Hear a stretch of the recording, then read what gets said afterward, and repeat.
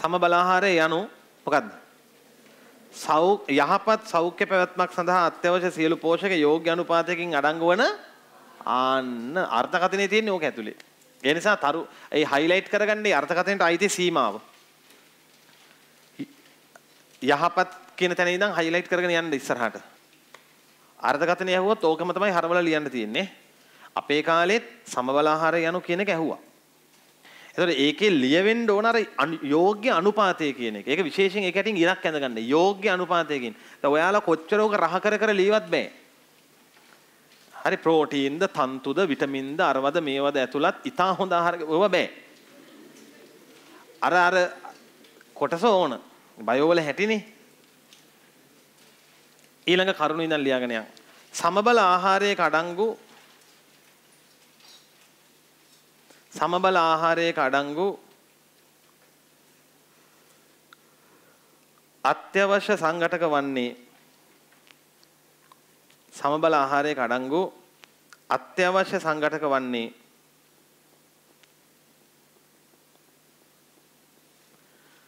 ඔන්න දැන් සමබල ආහාරයක තියෙන්න ඕනේ ඒවා.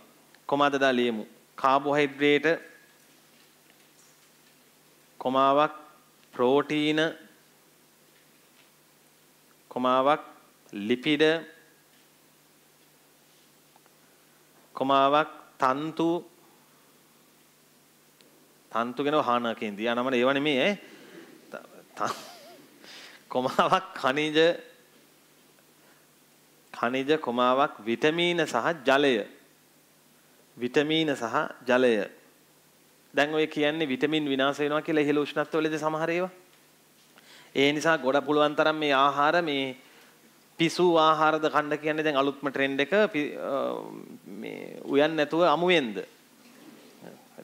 තේරෙනවද කර්මයක් කියලා? ඈ? උය උය කකා හිටපු જાතියන් නිකන් අමුවෙන් එළවලු කනවා කියන්නේ. හැබැයි ඉතින් අර අර පලාකොළ වගේ ඒවා ඉතින් අමුවෙන් ඔය මොනවද අර මැල්ලුනේ මොනවද ඒකට කියන්නේ? සම්බෝල නේද? ගොටකොළ සම්බෝල එක ගහදන්නේ කිසිම රහන් නැති එක හදනව නේද? කැමති නම් කන්න. මම ওই ගොඩක් ඒවා අපේ ගෙදර හදනකොට කන්නේ. මම කන්න. බයෝ නේද උගන්නන්නේ කියලා අහනවා. ඕක කියනවා වෙන එක කනවා. මම කන්නේ. අපිරියයි. ජලයේ වේ. ඊළඟ කාබෝහයිඩ්‍රේට් හා ලිපිඩ ශක්තිය සපයයි. කරුණ වශයෙන් ලියමු ඈ. කාබෝහයිඩ්‍රේට් හා ලිපිඩ ශක්තිය සපයයි. එතනම ශක්ති අවශ්‍යතාව දැන් වැඩිපුර ශක්තිය ඕන වෙන්නේ කාටද? ගැහැණු අයටද පිරිමි අයටද? ස්වභාවික මට්ටමින් ගත්තොත් පිරිමි අයට. හැබැයි ඉතින් දැන් මලල ක්‍රීඩා කරන කාන්තාවක් එහෙම නැත්නම් බර ඔසවන කාන්තාවක් ඉතින් එයාට වැඩිපුර ශක්තිය ඕන වෙන්න පුළුවන් මේ සාමාන්‍ය අපේ චූටි කොල්ලෙකුට වඩා. ශක්ති අවශ්‍යතාව වයස වයස ශක්ති අවශ්‍යතාව වයස කොමාවක් ස්ත්‍රී පුරුෂ භාවය මත වයස ස්ත්‍රී පුරුෂ භාවය මත. වයස මත ස්ත්‍රී පුරුෂ භාවය තීරණය වෙන්නේ මේ මේ සාධක ටික ලියන්නේ. වයස ස්ත්‍රී පුරුෂ භාවය මත දේහ ප්‍රමාණය හා ක්‍රියාකාරීත්වය මත. දේහ ප්‍රමාණය හා ක්‍රියාකාරීත්වය මත. ලොකු දේහයක් පොඩි දේහයක් තියෙන අය. දේහ ප්‍රමාණය හා ක්‍රියාකාරීත්වය මත වෙනස් වේ. මත වෙනස් වේ. ඊළඟ ශරීරය තුළ ප්‍රෝටීන සංශ්ලේෂණය සඳහා